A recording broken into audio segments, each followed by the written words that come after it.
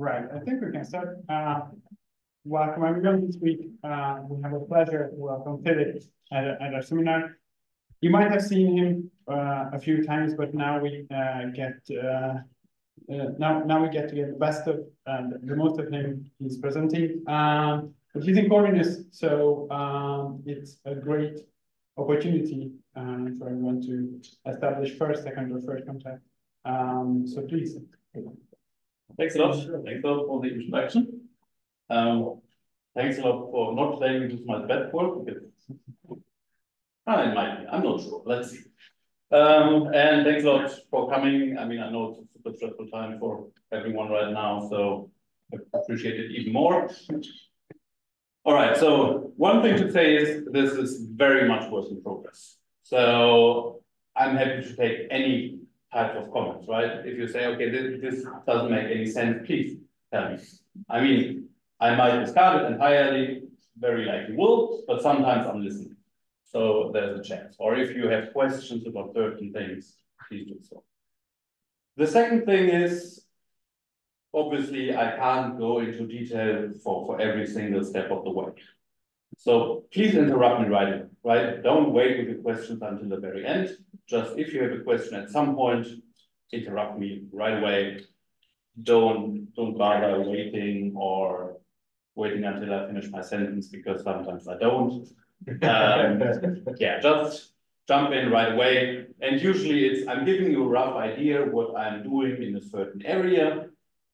But if no one has questions or comments or wants to see more, I'm going to the next one.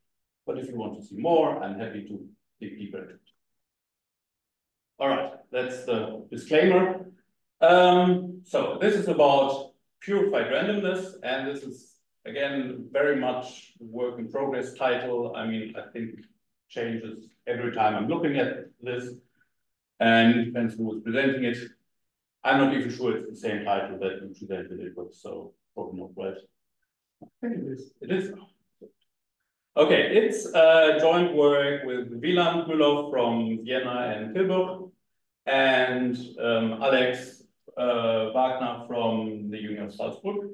And as you can see, it's about game theory and we tested part of that in the lab. So the lab in this case was Vienna. All right. So um, first of all, uh, given that I actually don't know a couple of you people, I mean, who of you guys is working roughly on game theory or with game theory? Okay, that's that's fewer than very good. So I need to explain to you a little bit um, why I mean why should we even care about these weird mixed Nash equilibrium, right? Um, obviously, I'm not giving you the the whole story. I, I tried that with my students this term. It only worked like with 50%. So, all right. So, I mean, I guess you all have heard of Nash equilibria. Um, we are that. Not gonna cover that. Um, but mixed Nash equilibria, obviously we, right, we're not playing pure strategies, so either A or B, but something in between. Um, the problem with that is if you're looking at the, the very, very simple mixed Nash equilibrium, also the complicated one, but even with the sim simple ones is that you're mixing in a way to set the other person different, right? If both people are mixing, then I'm deciding my mix mixing probabilities in a way that the other person is different. That has some really weird effects, like if I'm changing only my payoff in like matching pennies game or something like this, I shouldn't change my my if there is one mixed Nash equilibrium, uh, equilibrium, I shouldn't change my mixing probability there if I think we're in a mixed Nash equilibrium, but the other person should, whose payoff I haven't changed. So it's kind of weird. And everyone who tried to explain that to students um, or had trouble learning that themselves, I mean, Maybe I, mean, I did, but no, it's a very difficult concept. And it's very difficult to convince people that this actually works. Or that this is actually the right way, to do it. So um, here, this is the thing. the player is indifferent between strategies that I play with positive probabilities. So everything I, I'm mixing between, I really don't care, right? I mean, I, I could choose one or the other thing. I'm only mixing that the other person is also indifferent. Makes sense if you're thinking of situations like, oh, I'm playing poker against someone, then I'm trying to hide, right? That's one interpretation of mixed strategies. I'm hiding what I'm having here. I'm hiding what I know. I don't want the other person to learn anything. But we also have mixed national period in coordination games. Games like Hawk-Dove games. We all have these kind of things, right? Where actually our goal is to coordinate, but there's still mixed, uh, yeah, uh, national human mixed strategies. All right, so why should a player bother selecting precisely the mixed strategy probability that induces the opponent to be different as required for the equilibrium? So it's not why the equilibrium like that, but I mean, if we already all assume that we're in the equilibrium, we shouldn't care anymore. So why are we still sticking to that? Um, and one interpretation of that is that um, in the words of Harsanyi, that, by the way, apologies, I know I'm writing the name incorrectly in Hungarian. Um, yes, but I, I stole most of the slides from Wieland and we usually don't write it correctly. Um, all right, so what he says is in the face of equilibrium points in mixed strategies, they're unstable because any player can deviate without penalty from its equilibrium strategy, even if all other players stick to theirs. You can shift to any equilibrium strategy, so that's just what I said, right? I mean, in the end, he doesn't care if you place A or B or some mixture, because it should be different anyway. And this seems to pose a serious problem because many games have only mixed strategy national equilibrium points. All right. Obviously, we would be here if you only said, okay, that's a problem, we're stopping here. Um, so he gave um, what I would call an interpretation of a way we can think of mixed strategy national equilibrium. What I would like to add is with humans, right? I mean, I know national equilibrium are used in, in, a lot of different things, but especially when we're, we're talking about humans, this works pretty well. Yes. Oh no, you look like you had a question. Sorry. So a mixed strategy net room or normal form game with complete information can almost always, I mean, I'm not a theorist, I'm not going into details here, and most of you know that anyway, can be interpreted as a pure strategy Bayesian Nash equilibrium of a nearby game with a little bit of incomplete information. Okay, that's fairly vague, but I'm an experimentalist, so this is fine. Um, the idea is what's a nearby game with a little bit of incomplete information. This just means that, I mean, you can have a lot of information for that, but there's something that's not modeled, right? There's something like, okay, maybe I like one color a little bit better, or I, I rather go left than right or things like that, right? Something which is not in the model, but there is some slight perturbance in these pairs. So if we're writing the game down like, oh yeah, if you're choosing A and the other one is choosing B, then you're getting two. And the other way around, if I'm choosing B and the other one is choosing A, then I'm getting one. In reality, it could be I'm getting one plus a little bit of epsilon because I like the letter B slightly better than the letter A. Right? Can be a tiny thing, but that's enough. So um, that means all of a sudden we have pure strategy Bayesian Nash equilibrium, right? No mixing anymore, just by adding this little bit of noise.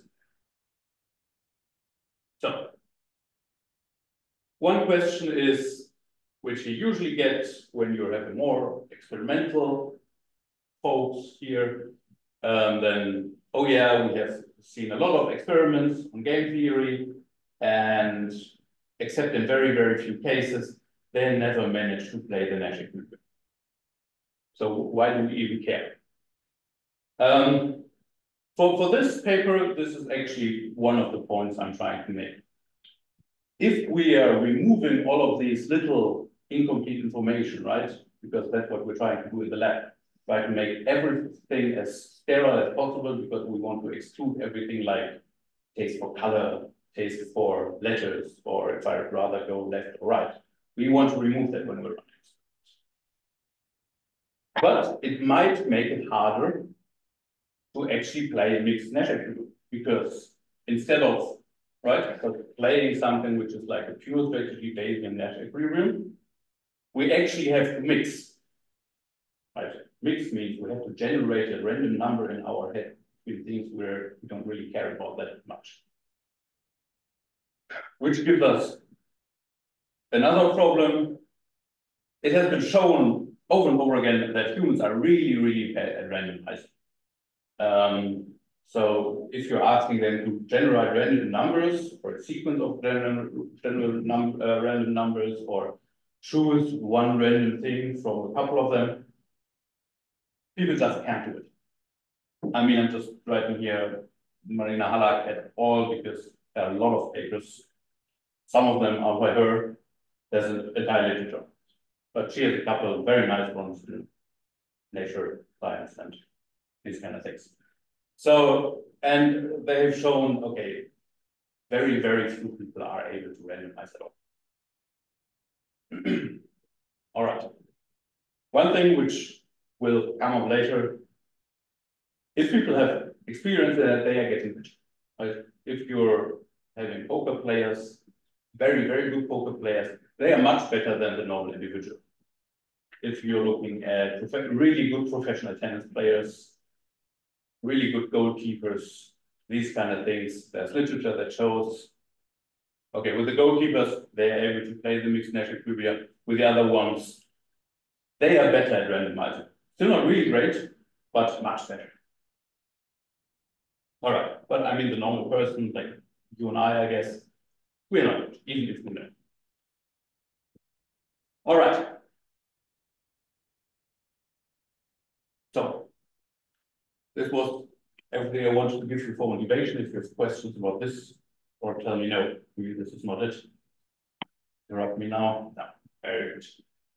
All right, let me give you an example. Um, and when I'm talking about an example, like this. So let me just show you briefly how um, purification works. So you, you see this game here with 300, 200, and you can see this is an asymmetric matching pennies game. So how does it work? We have two players, they are both choosing heads or tails. And if both are choosing the same thing, right here, then player one wins. Here he wins 300, whatever 300 is here. And here he wins 200. And player two, she wins if they are choosing something different, right? So it's say it's here, getting 300, JZ one. Okay. This is already very similar to what we did in the experiment.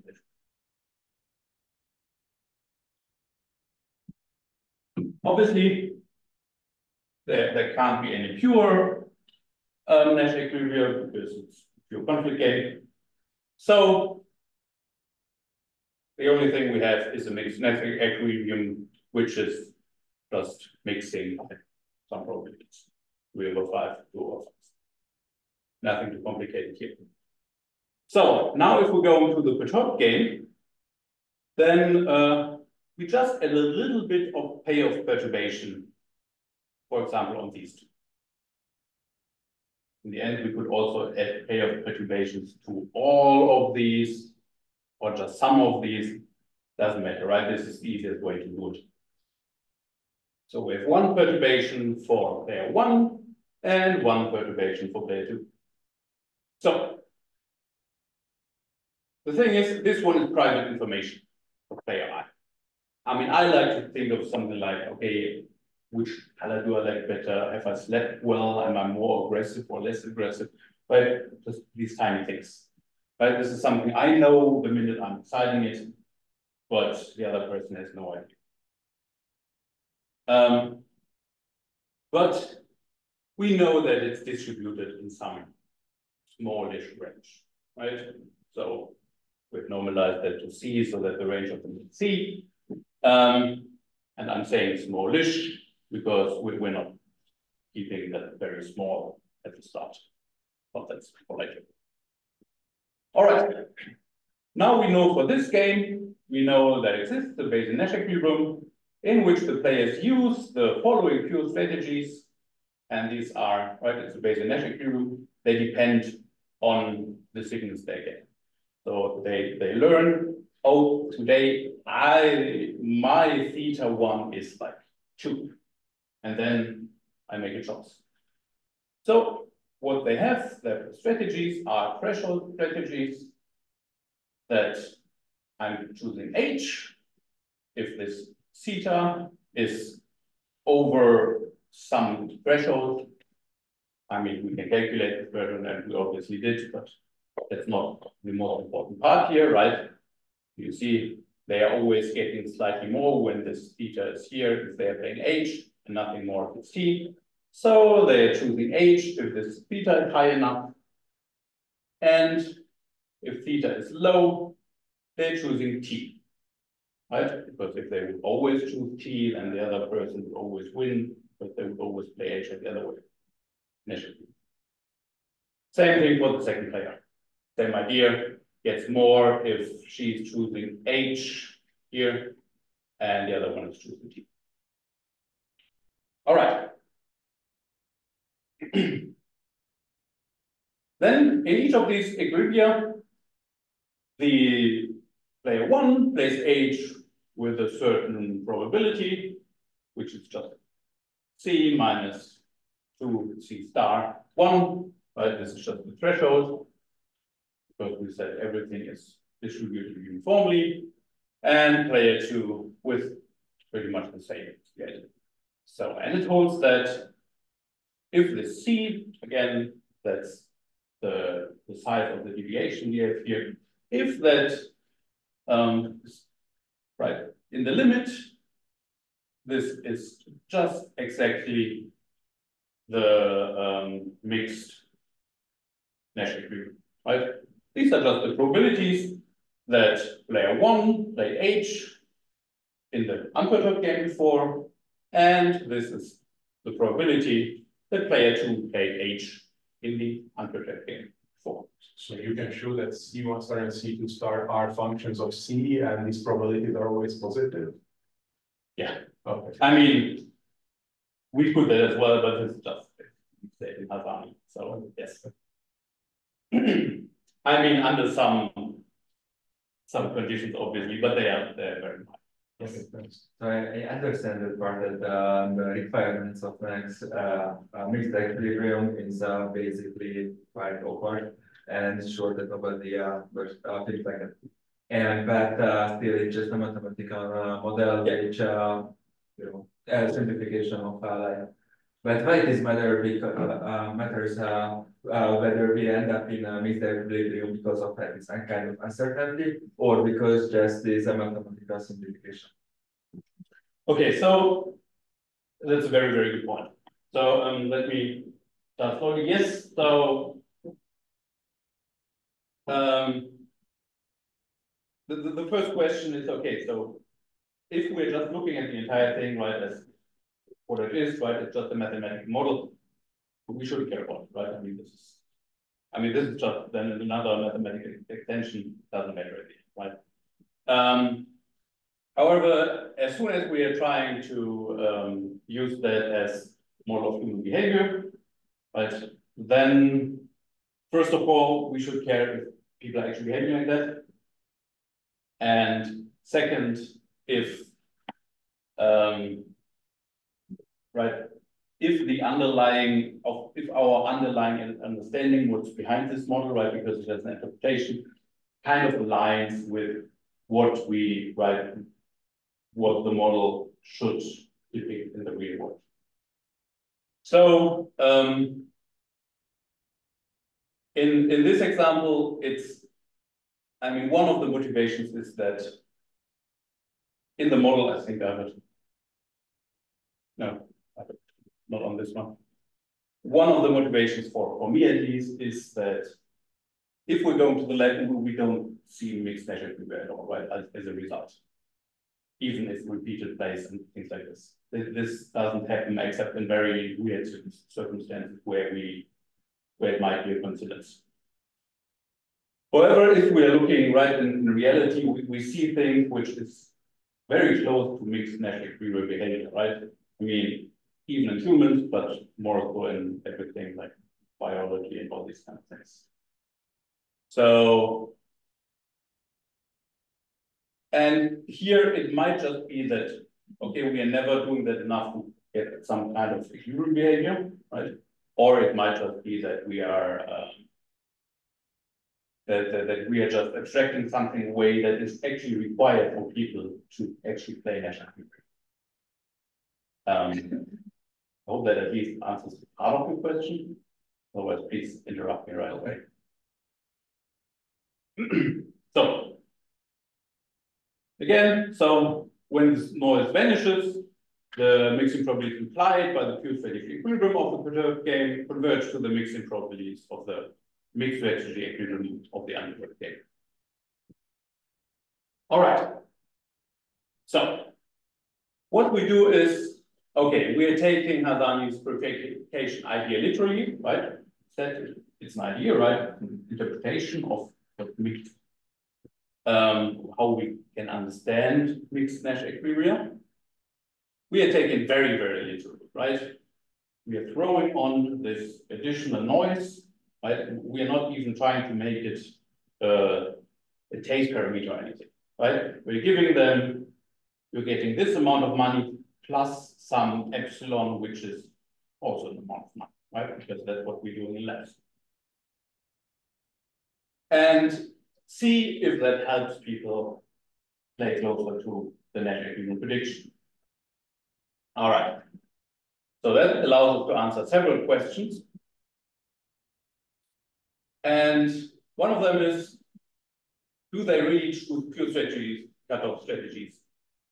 Sorry, pure strategy cut-offs in the, third game, right? Which is the main idea. The underlying assumptions for these are really, really mild, especially compared to Nash, right? They just need to be some kind of rational. I mean, there, there's really no way to choose less payoff than, I mean, the, the less payoff option than the more payoff option.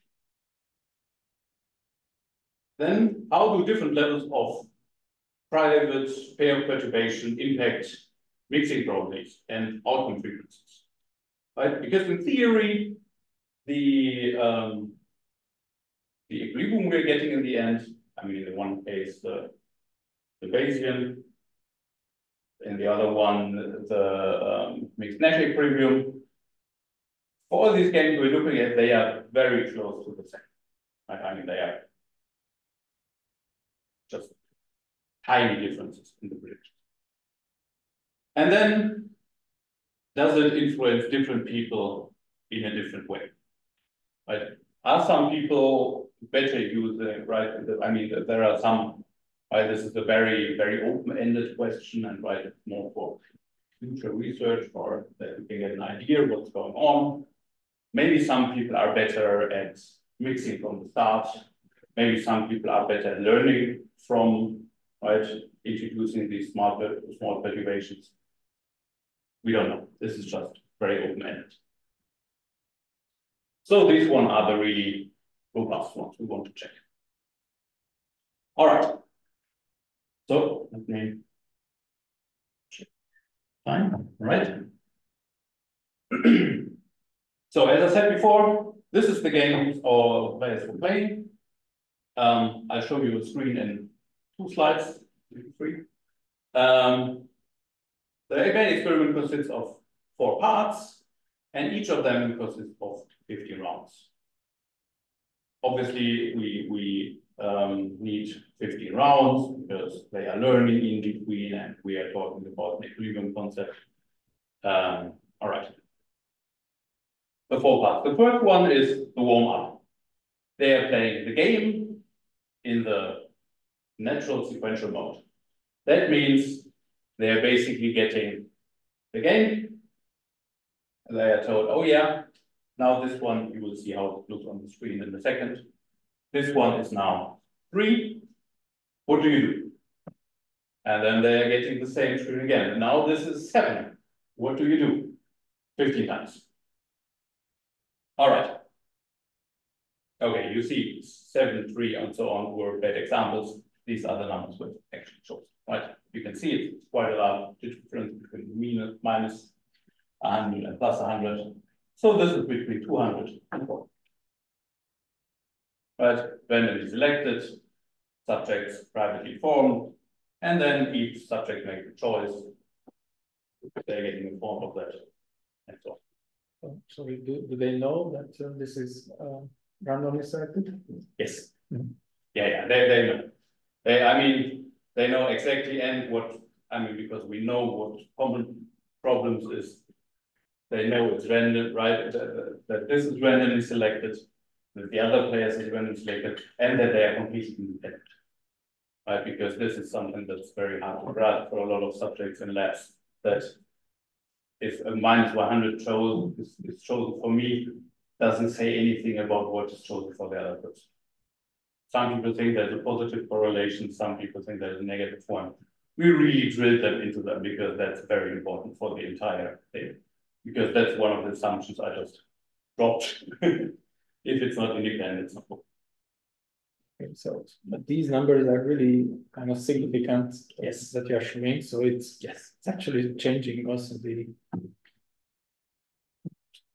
The game, Yeah, yeah, yeah, yeah. I because mean, my understanding from your introduction was that it's more like just a signal. exactly. So it's more of a coordination, but exactly. So um later on, we will see, we will, we'll do smaller ones. Mhm. Um, this is just the warm-up phase, and if we are uh, not changing a lot, they, they don't even realize that we're changing a lot. But yes, here it's very significant. And it's mostly to train them, right? That's the warm-up phase.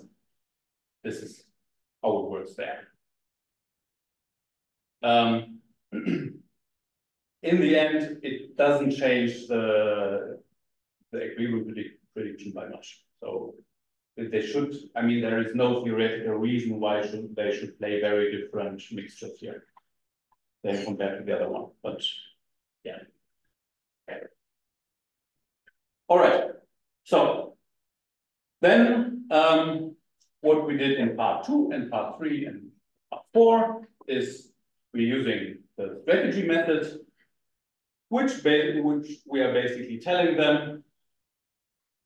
Right, again, here, significant, still the, the same changes. But now we're telling them, okay. We're playing this game again. Over and over again, but now you're making a decision just in case this one comes up, right? And then we're giving them all the options, we're giving them just this one here. And we're asking them to decide, right? Basically what's their strategy. Um, obviously, we're not following the strategy because it confuses them, but this is just basically asking for the strategy. All right. So it looks like, sorry. It looks like this. Right, so this is the example of the first round, but the other ones look very similar. Here, this is the entire screen, and it was explained to them in excruciating detail. Here you see what they're seeing. You see a slightly different game here, right? Two, two, three, something random, and here the randomization goes on. But we see blue is always the one that, that I am. And this is an example for the first round of the first part, right? Where something was actually drawn. So this was running here back and forth and then stopped at some point to make sure that they know, okay, this is now randomly drawn.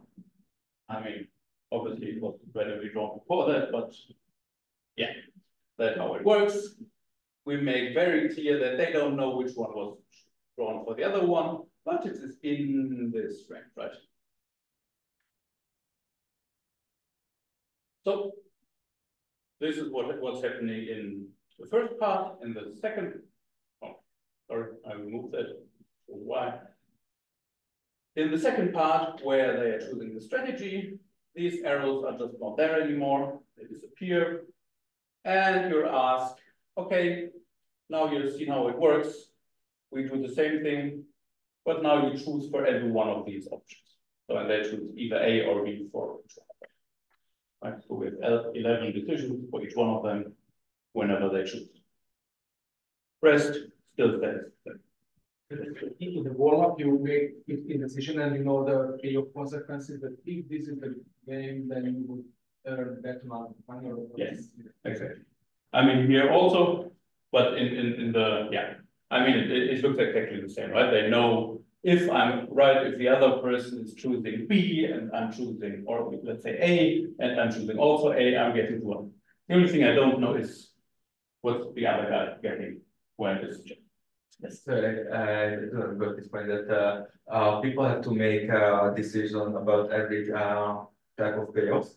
Or uh, this game is just repeated and uh, see the outcome and again and again and again. So the, this because it would be the second case, then I would uh, expect that people are actually randomizing. Realizing that, oh, I got nothing, then let's change the my strategy to another one. so exactly. So the, the, the first round would be, I mean, the, the warm-up phase would be what you described second. Right, so they're getting the same thing over and over again. We are obviously not you, I mean, I think we looked at the data, but I don't remember it anymore because we had no predictions, but this, this was just to explain to them how it works. Because of exactly what you're saying, right? So they, they might randomize because they're updating all this at the same time, right? They might be learning something about the other player, or they might think they, they're learning something, something that might be going on, we couldn't see.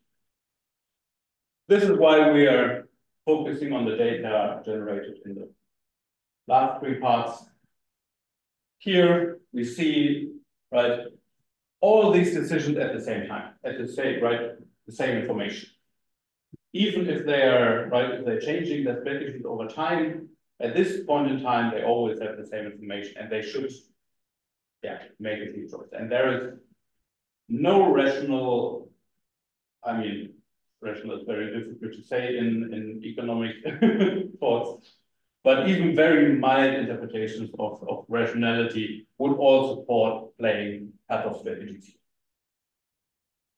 Um, for most people, it's clear, so I would keep that very, very, very close. Let's say you're playing something like this, and then cut off, and you have one down here and one up here.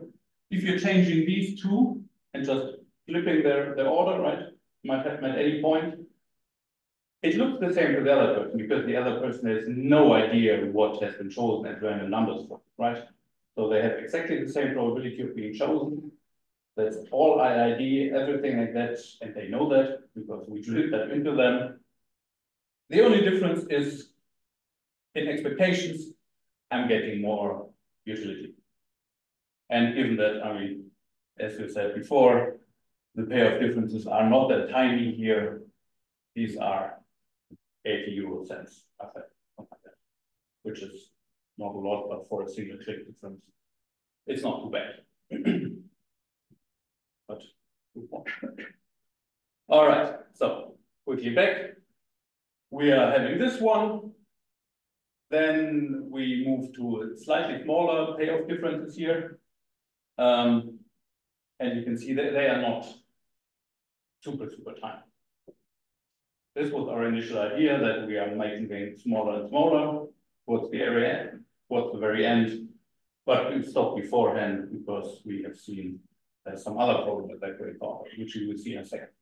So from there, we then skipped on right to the unperturbed game, which is just they're playing the same thing. And they are just all the same number here. Looks weird, but this is just playing the Nash equilibrium plus giving them a randomization device because we know people can't randomize. So if someone wants to play, okay, maybe not 50-50, that's not the example because they are 11. But if someone wants to play, okay, I, I can't do that in my head, but three over 11, right, as a probability for A, then you should just choose three of them, whichever one doesn't matter because all equally likely in the undefined case. So you, you are just showing the same number for you? Yes, same number eleven times. Mhm. I mean, we explained to them, each one of these games is randomly chosen. We didn't call it games, we had other name for that, but, but, and that's how it is. So, so we couldn't, so, so the subjects cannot even play two fifths and three fifths because they don't. Exactly, they can. Um. So. Which, which would be a problem if we wanted to, to test the exact equilibrium predictions, obviously. Um. Technically not, because there is one which is closest to it. But given that I don't believe that we can actually pay them utilities, um, and I've shown in another paper that. Risk aversion matters a lot even in these small stakes.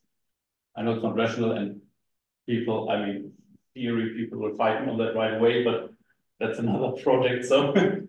But. Yeah, this is not something, but it's technically.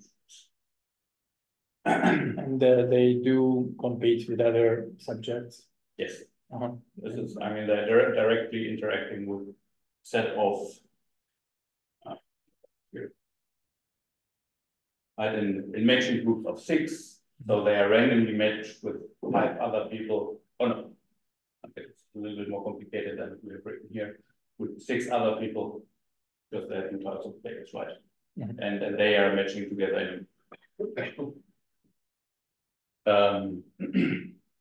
The reason for this is because we want to actually test equilibrium behavior, right? We, we, we are not interested that much in right, one shot or initial play behavior here. We really want to see equilibrium behavior because talking about Nash equilibrium, saying Nash equilibrium is a bad prediction for initial play is kind of useless, right? Equilibrium thing.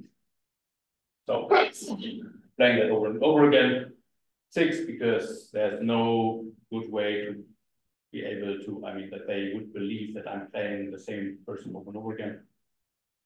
Um, but it's very unlikely that you're meeting the same person over and over again. All right. Given that I said before, right, we want to also check with a few other things. Right, who can do it better and all these things, we have added like fairly small battery of standard tests.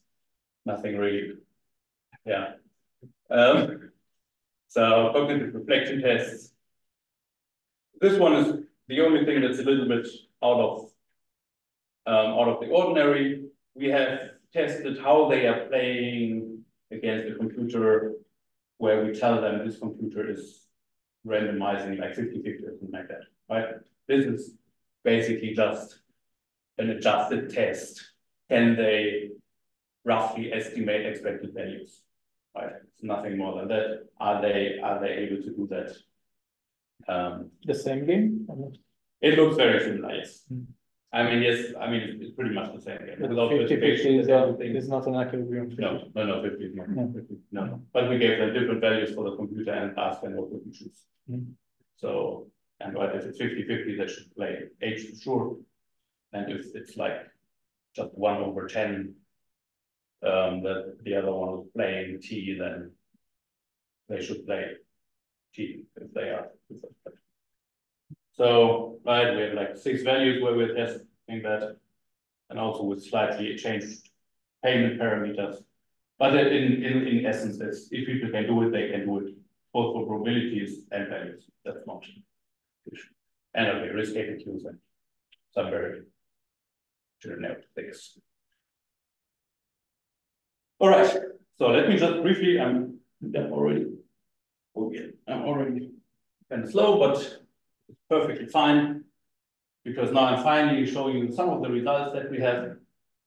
Um, let me first give you an idea of how these things look.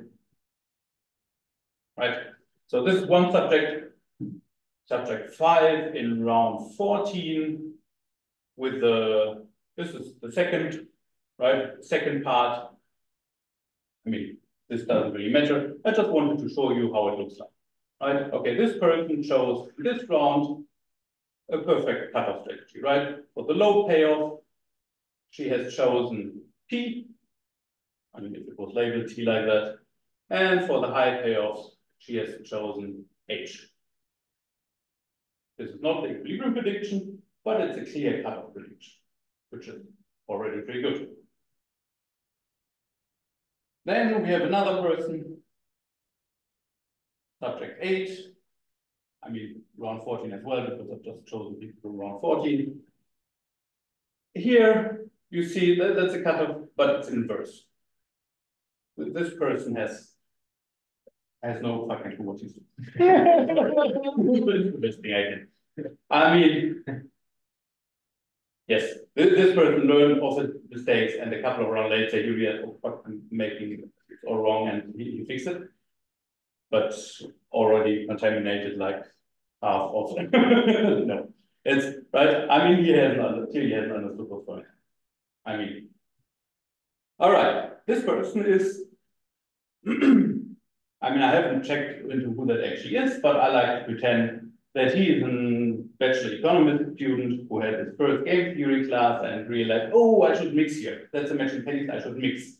How do I mix here? I do this. Obviously, not very clever, because I mean, you could get the same mixing probabilities, so the only thing that matters by going here and here. And what would you get? Okay, you would just get ninety payoff more from this game, right? Expectations, but you know what I'm trying to say. So happens rather difficult to find someone with exactly that pattern, but I managed to do it. But we have some randomization there. Then we have someone like this. This is a perfectly rational choice, right? This is clearly not the Nash equilibrium, right?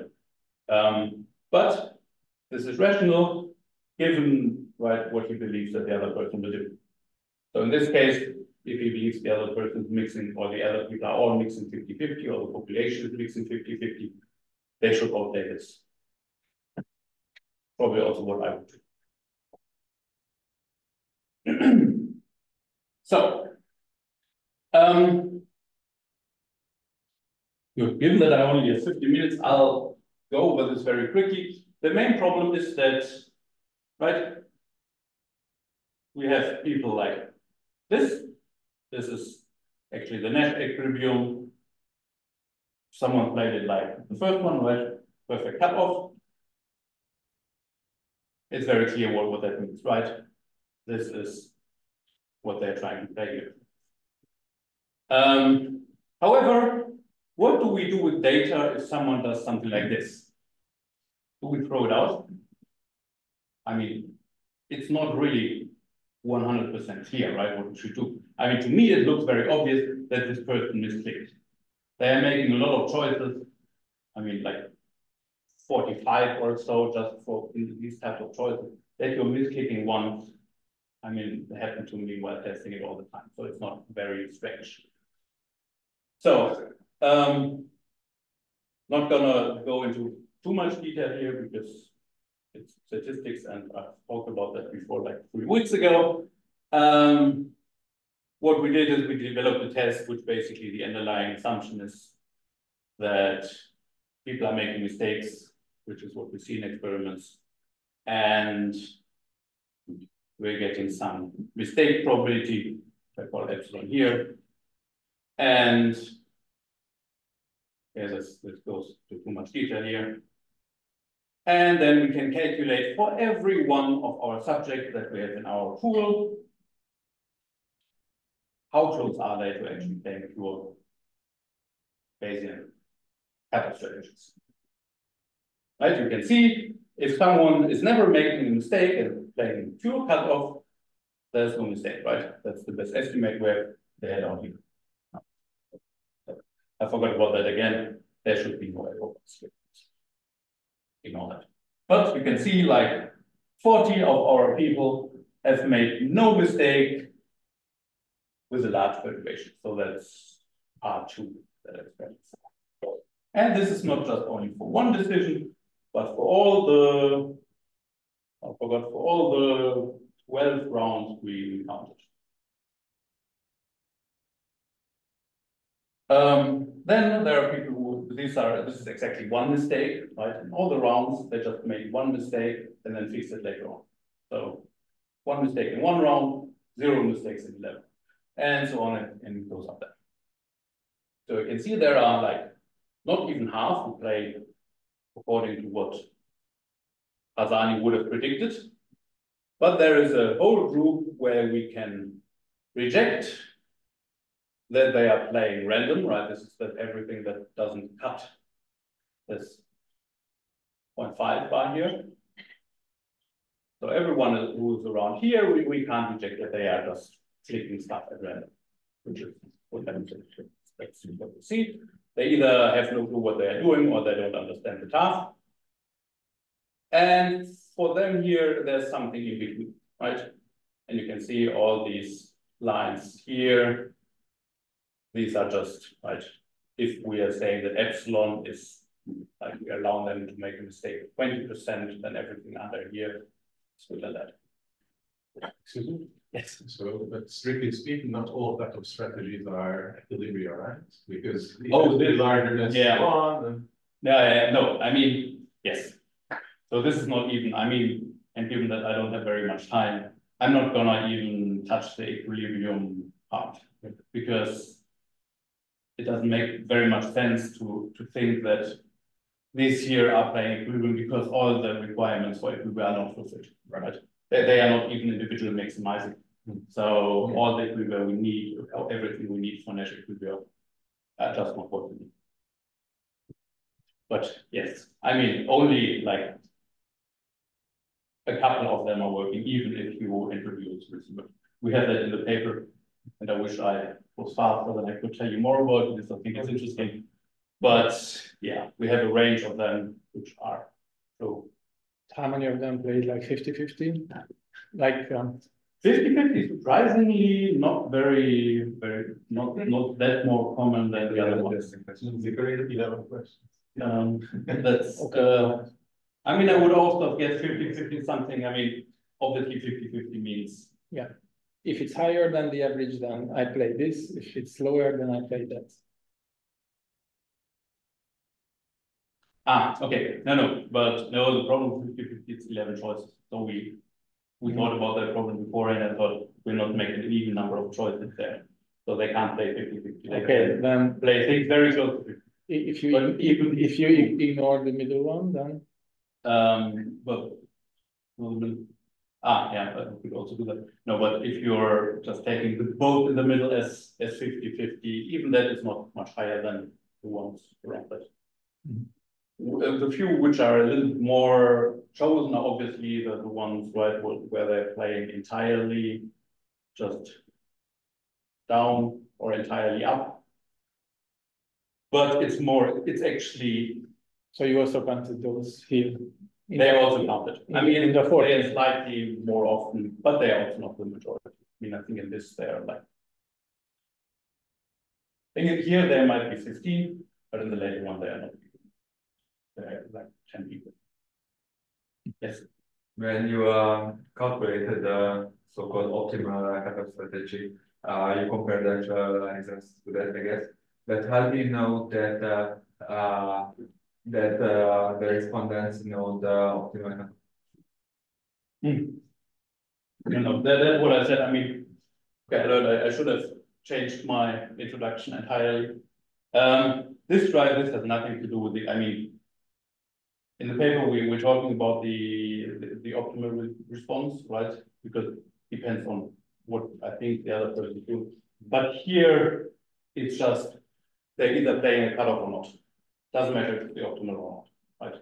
Because every cutoff can be rationalized by some belief about what the others I are. I understand it, but but let's say that uh the cutoff is at uh the second design, Mhm. then the error, uh the estimated error term uh, is uh is uh different if uh I think that the optimal uh cutoff is at the nineteenth uh design. Okay, so. And uh, you have to have a benchmark uh, model to compare uh, the uh, there or, uh. Okay, yeah, no. You know that what is the correct, uh. No, no, the, the correct one is every cutoff.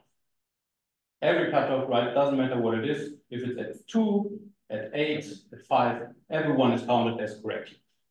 Doesn't matter. Even if they are changing it over time, right, these are multiple periods combined, if they are, they are changing it over time. Also fine, they might be learning something. Two question, uh, in which order do you show these random numbers? So you just generate uh eleven, uh completely random? No, they're not be random, otherwise we would have been. Would have been difficult, um. Always like this, right? So when, right, I mean, when they're making the choice, they're choosing here, right, they're seeing all of them, all possible ones. And if they're seeing what the outcome of the game is. I mean, yeah, that. But but uh, I- my question is, you don't just go from left to right, No. uh you you you show them each of uh. Yeah. Eleven, one in a random order. No, I mean, in this one, we are forcing them to choose all of them at the same time. They're shown always like this, right, from left to right. all of them at the same time. All of them at the same time here. In the first period, it was completely random, Uh-huh. right? But in this one, where we're asking for the strategies, they are, they, they have to choose, right, for each one at the same time. I mean, of course, they can choose here first and Yeah, I see, there, I see, I see, but it, it's all on the same tree. okay, so. There cannot be actually a learning. No. Here. No, no. I mean, this is why we we didn't want to use the. The direct method, how we call it, right, the first one, because there might be some learning. Mhm. Or perceived learning, that's enough, right, they they might think, oh yeah. I had a three hundred before, will not have. Mhm. Thank you. Very good. Sorry, Oh, no, perfect. So, again, don't wanna go into too much detail here. Um, with smaller perturbations, okay, the picture looks a little bit different because I scaled it differently. But the, the idea is fairly similar, right? And this is very robust to a lot of checks we have done. Um, smaller perturbations.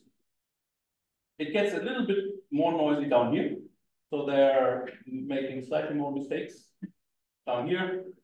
But up here, it's roughly the same. And yes, this is an outlier. Th- This guy is clearly doing something. I mean, he's doing.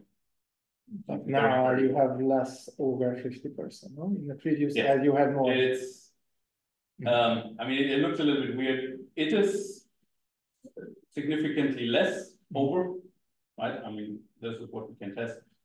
But we, we cannot really significant, I mean, we cannot make a really robust conclusion about that there will be more, right? Mhm. This is, we can't reject for roughly the same number? We, cannot say anything or the other. So we have a couple of people who are just randomizing, some which are in the middle. But more than, than half are making decisions roughly in the right direction. And from here, and finally. Um, okay, now this is one I thought I added. So right, this is part two. And as a control, we have the part four, which is right just the game, right? Unperturbed and looks a little bit weird. And this is really just a control for us, right? Because there is no rational prediction. It doesn't matter how they choose these things because they mean all the same. And there we see, I mean, some people stick to these like a couple of them, but it's all over the place. So we can actually see that this is not because they, right, I mean, because this is some problem of the tests or because the design forces them to go into that, that direction. But if we're not giving these, them these perturbations, they're not playing swing. Which is perfectly rational, right? Because if they don't have perturbations, they don't need to, but just a robustness check for us. So let me just quickly go over that. Just very quickly, uh, sorry that I don't have more time to, to go over that. They're getting much, much closer to the Nash prediction when we are introducing these pair of perturbations. Um, surprisingly close. I'm still a little bit skeptical how close we are. I mean, this might be coincidence. I mean, again, we are still writing down the paper, so um, I don't want to put too much emphasis on that, right? It's not the, oh, we're saving Nash equilibrium with that right away. Um, but if we're playing the same game, I mean, we have another, another sample. If we are letting them play this game, they're very far off from this. That's why we chose that game. Here in our ones, right, this is very, very close. This is not super close, but it's very close compared to what we usually observe. Usually they are playing something like around 60 here to 1. Like you're doing experiments against you that's on the open set. I could see that problem. Same thing here, it's so much closer. And even carries over, right? If they have played this one before, if we don't have perturbations anymore. Right? So, well, very quickly. Okay, standard are a quicker actually here. I don't know why. Haven't thought much about that. All right, so um, let me just quickly summarize. Okay, this is first an explicit experimental test of Harsanyi's purification idea. I mean, this is a proposal, obviously, right? I mean, there are many, many other ways how you could do that, like actually shrink the payoff perturbations to a very, very small amount might be interesting, not sure. But even with the initial prediction of Harsanyi that they should play cutoff strategies, we have huge heterogeneity there in subjects, right? One are perfect on point, which is surprising because it's like 50 decisions. Some are just entirely off. There's some positive relationship between their mathematical skills and how that well they are able to randomize here. Um, which is actually nicely in line with um, people, right, with what we said before. If they experience in playing Nash equilibrium, or in this case, if they experience in expected values calculations, because a lot of mathematical skills in universities are expected value calculations, or at least they have seen it, they are playing better. All right, thanks a lot. Thanks a lot for all the questions.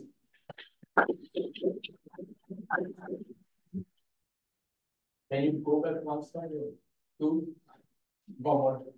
So, so, so here, your claim was that if part four was played before part two and three, then you would see not so nice numbers. So, uh, because here, that Yes. uh, And but, but you have that before in the, uh, we, we have, I mean, we have this as an. Okay, my apologies. I mean, that we ran that like two years ago and I don't remember exactly.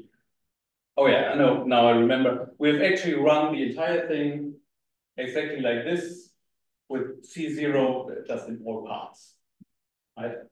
And then we wanted to compare this part four with the one that we see here. Um, from just a rough look, it looks very different, but I haven't run any any analysis on this.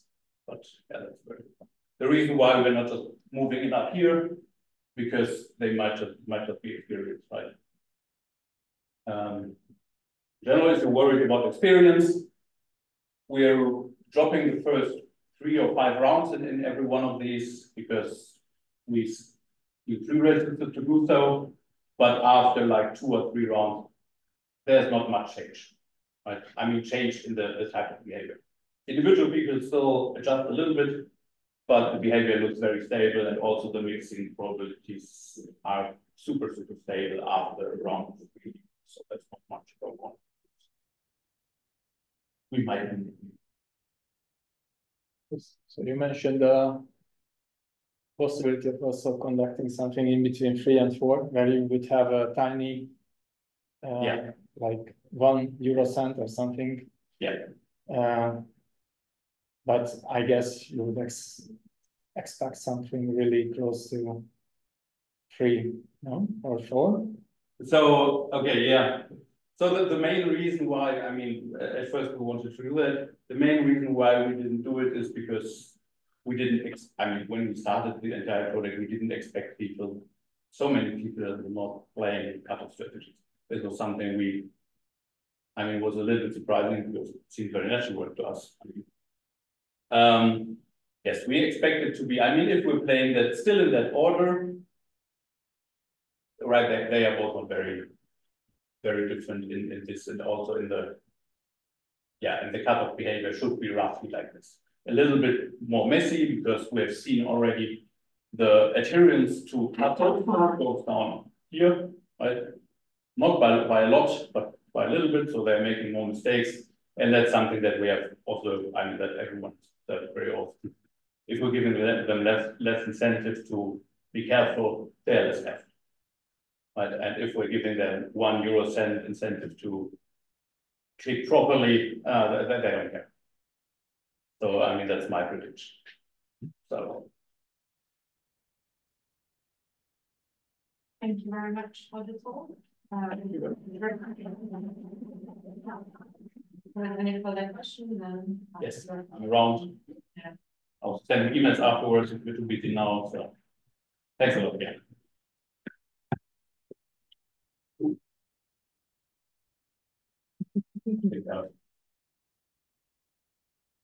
Oh, the wrong version to the video. Yes.